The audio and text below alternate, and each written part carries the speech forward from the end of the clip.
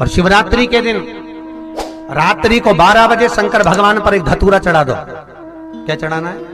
जम के बोलिए जरा। धतूरा। ये शंकर भगवान को धतूरा चढ़ा दो। 12 बजे रात्रि को शिव जी पे धतूरा चढ़ाओ।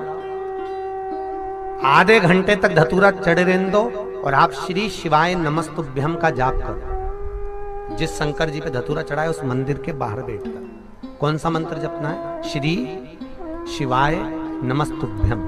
फिर से बोलो।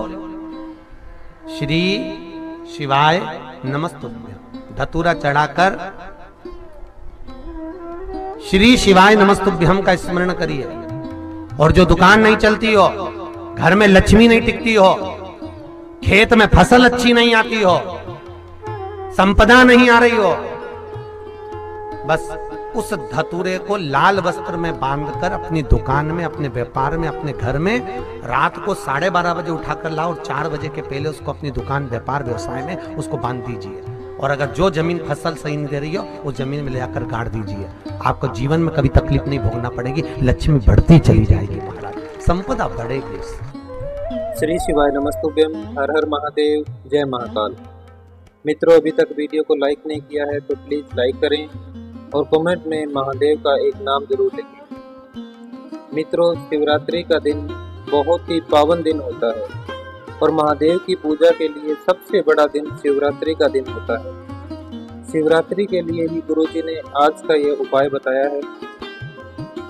अगर आपके घर में किसी भी प्रकार की समस्या है, धन से संबंधित कोई भी समस्या है, अगर आपकी दुकान है, आपकी दुकान पर ग्राहक नहीं आ रहे या आपका अगर खेतीबाड़ी का काम भी है, खेत में फ़सल अच्छी नहीं हो रही तो आपको गुरु जी द्वारा बताया गया ये उपाय ज़रूर करना चाहिए। उपाय आपको शिवरात्रि के दिन ही करना है। हर महीने शिवरात्रि आती है। आप किसी भी महीने की शिवरात्रि के दिन ये उपाय कर सकते हैं। उपाय करने के लिए आपको एक दतूरा लेना है। और शिवरात्रि के दिन रात्रि 12 बजे शिव मंदिर में जाना है। उपाय आपको रात्रि 12 बजे ही करना है। शिव मंदिर में जाकर रात्रि 12 बजे महादेव के शिवलिंग के ऊपर आपको एक दतूरा चढ़ाना है और साथ में श्री शिवाय नमस्तुभ्यम का जाप आपको करना है।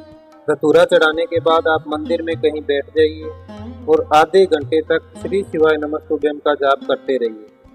आधे घंटे जाप करने के बाद उसी धतूरे को साढ़े बारह बजे वापस उठाकर अपने घर ले आई। सुबह चार बजे से पहले, उसी धतूरे को लाल वस्त्र में बांधकर अपनी दुकान में कहीं भी बाँध दें। अगर आप ये उपाय खेत के लिए कर रहे हैं तो सुबह चार बजे से पहले अपने खेत में जाकर उसी धतूरे को दबा देना।